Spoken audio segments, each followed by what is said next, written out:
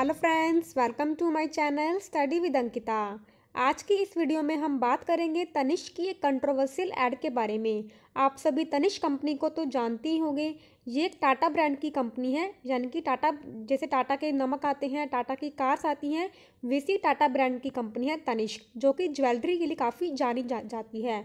अब हुआ क्या मुद्दा कि इन्होंने एक ऐड रिलीज़ की थी, जिसकी वजह से काफ़ी कंट्रोवर्सी खड़ी हो चुकी है। तो इस वीडियो में हम जानेंगे कि आखिरकार उस ऐड में ऐसा क्या था और क्यों इसके ऊपर इतनी ज़्यादा कंट्रोवर्सी हो रही है और इसके बाद तनिष्क ने वो ऐड वापस भी ले ली है। तो चलिए जानने की कोशिश करते हैं। तो देखिए, हुआ कि आखिरकार में कि एक जो महिला थी, एक प्रेग्नेंट हिंदू वुमेन थी। देखिए, मैं आपको इस पिक्चर में देखिए, ये एक महिला है जो कि हिंदू महिला है। यानी कि एक हिंदू महिला है, इनकी जो मैरिज हुई हुई है, ये हुई है एक मुस्लिम परिवार में और ये महिला प्रेग्नेंट थी। तो जो इनके इन लॉज होते हैं, यानी कि जो इनके ससुर, जो होते हैं ना ससुराल वाले, वो होते हैं मुस्लिम लोग। तो जो इनकी जो महिला है, इनकी होती है गोद भराई की रस्म। जैसे आप सबको पता होगा, हमारे हिंदूज में ट्रेडिशन है कि जब एक महिला प्रेग्नेंट होती है तो हम उससे क्या करते हैं, उसकी गोद भराई करते हैं और उसके शगुन भी देते हैं। एक जो बहू होती है घर की भी एक अच्छा संकेत है, हमारे घर में एक लड़का आने वाला है या लड़की आने वाली है, यानी कि बच्चा आने वाला है तो उसे हम शगुन देते हैं उस महिला को। तो देखिए, जो मुस्लिम परिवार होते हैं, वहाँ पे ऐसी कोई रस्म नहीं होती। तो ये मुस्लिम परिवार वाले क्या कर रहे थे? उस लड़की की गोद भराई कर रहे थे। तब जो लड़की अपनी सास से कहती है कि हम, आपके घर में तो ऐसी कोई ट्रेडिशंस होती नहीं तो फिर आप ऐसा क्यों कर रहे हो?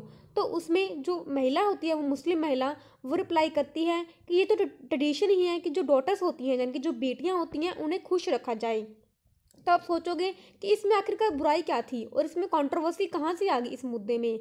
जो तनिष्क ने इस ऐड को रिलीज़ किया था, वो उसने रिलीज़ किया था एक नाम से, एक एक वात्मा नाम से इस कैंपेन को रिलीज़ किया था ताकि जो हिंदू मुस्लिम की जो हमारी यूनिकनेस है, हम आपस में मिले हुए हैं एकता को दिखाने के लिए, ये ऐड रिलीज़ की गई थी। तो अब इसमें प्रॉब्लम क्या आ गई? तो जो बाकी ट्रॉलर्स थे, उन्होंने क्या कहा? उनका कहना ये था कि जो तनिष कंपनी है वो क्या कर रही है? लव जिहाद को बढ़ावा दे रही है। अब इसमें लव जिहाद क्या है? लव जिहाद क्या होता है कि जो मुस्लिम लड़के होते हैं, वो हिंदू लड़कियों को बिला फुसला कर क्या करते हैं? उनसे शादी कर लेते हैं और फिर उनसे क्या किया जाता है बाद में? जो हिंदू महिलाएँ हैं, उनका धर्म परिवर्तन कराया जाता है। जिसे बोलते हैं हम लव जिहाद करना। तो जो जो मतलब से वो क्या कर रहे हैं? जो एड वायरल होगी काफ़ी ज़्यादा और उन्हें स्लैम किया कि वो इंटरफेथ मैरिजेस को कर रहे हैं प्रमोट कर रहे हैं और साथ में ये भी क्वेश्चन किया गया कि क्यों हमेशा एक हिंदू महिला है, वो मुस्लिम फैमिली में एंटर करती है और वैसा वैसा क्यों नहीं दिखाया जाता? यानी कि जो मुस्लिम लड़की है, उसे क्यों नहीं एक हिंदू परिवार में दिखाया जाता? ये भी क्वेश्चन किया गया जो ट्रोलर से उनके द्वारा। तो इसके जवाब में तनिष्क ने क्या किया? जो अपनी एड थी, उसे वापस ले लिया गया। तनिष्क ने ट्विटर पे अपने अकाउंट में ये कहा कि जो उनका आइडिया था इस कैंपेन का, वो था कि जो हमारे सेलिब्रेट है, अपनी जो कमिंग टुगेदर सेलिब्रेट जो पीपल्स हैं डिफरेंट कल्चर से हैं डिफरेंट वॉक्स ऑफ़ लाइफ से आते हैं, उनको सेलिब्रेट करना।